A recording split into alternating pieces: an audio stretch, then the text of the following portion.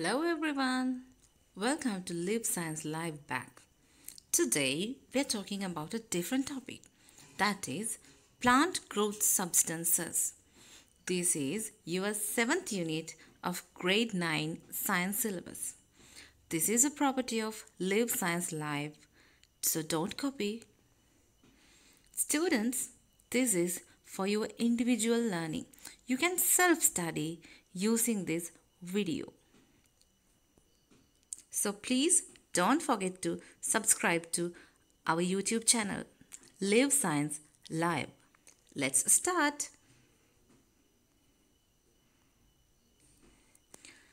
So first of all, I want to tell you what is a plant growth substance. Chemical compounds which regulate the growth of a plant are known as plant growth substances. Some growth substances promote the growth of a plant while some inhibits the growth of a plant.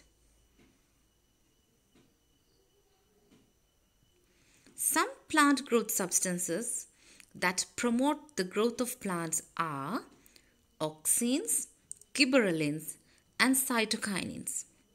Under your grade 9 syllabus, we have to talk about these three chemicals auxins, gibberellins, and cytokinin. They are also known as plant hormones. So let's talk about auxins. Auxin is a growth promoting hormone in plants. It is produced in the tips of shoots and plant roots. Here you can see in red arrows I'm showing you the shoot apex and the root apex, tip of the shoot and the tip of the root.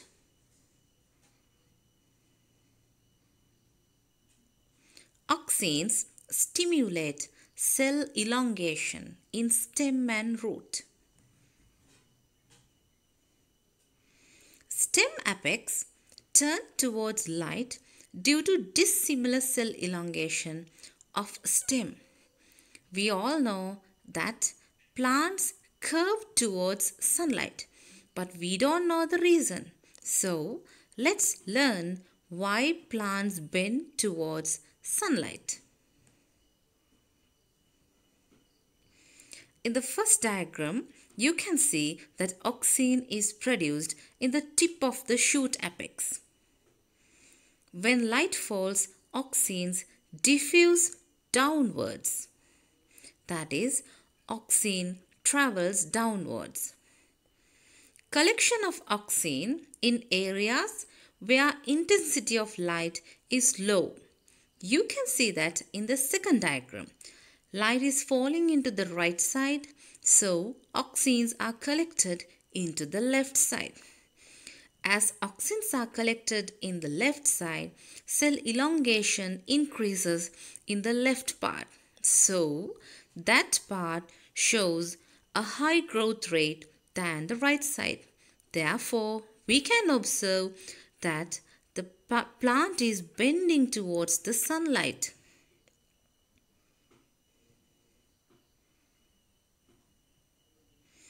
This is that story.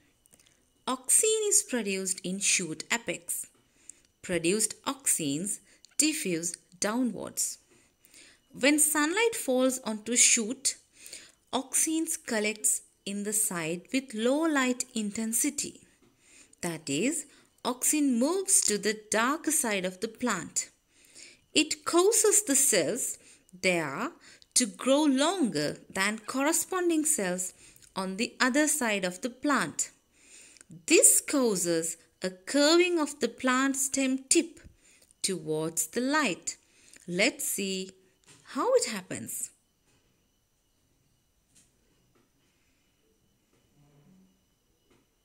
Here you can see an orchid plant bending towards the sunlight. Now you know the reason. This is caused by the plant growth substance auxin. This type of a movement is known as a positive phototropic movement.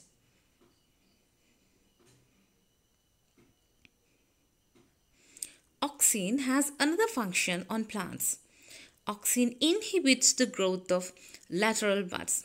In the first diagram you can see lateral buds are not growing as the apical bud is growing well. This process is called as apical dominance. In the second diagram, the apical bud has pruned, has cut off. So you can see what happens. All lateral buds are growing nicely. So the plant has become a bush.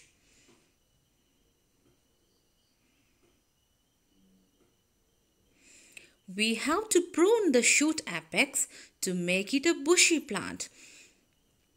If we cut off the shoot apex, the plant will become a bush like this. We can obtain bushy plants like this.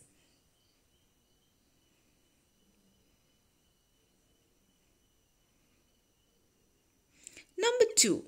After auxins, we are going to talk about gibberellins.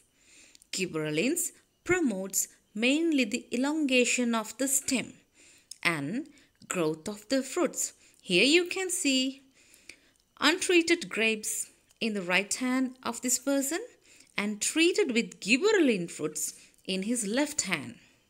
You can see the difference.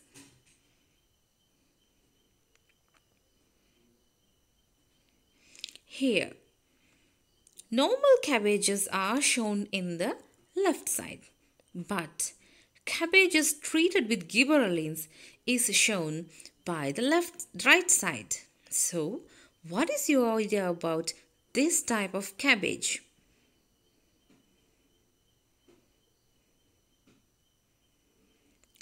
Third plant growth substance we are going to talk is cytokinins. It accelerates the cell division, growth of flowers, leaves, fruits and roots get accelerated by cytokinin. It stimulates seed germination and delay plant aging. This is a property of Live Science Live, so don't use to copy. Let's continue.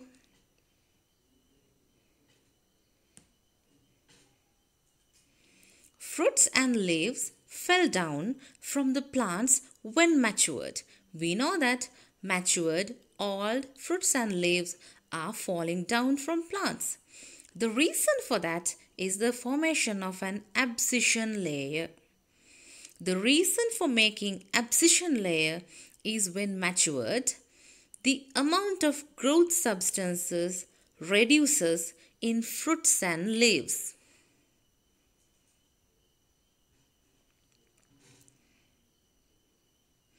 Okay, these are some fruits fallen down. These are some leaves fallen down. This video is a property of Live Science Live, so don't try to copy. Here you can see the abscission layer. When this leaf gets matured, the abscission layer forms in the place where I am showing using the red arrow. So it used to detach from the stem and fell down. This happens also to fruits when they get matured. Okay, from our Live Science Live, we are going to discuss the last part of the lesson that is artificial growth substances. They are used in horticulture and growing of ornamental plants. Here are some artificial growth substances and their use. 2,4-DPA and 2,4,5-DPA are used as a broadleaf weedicide for paddy fields.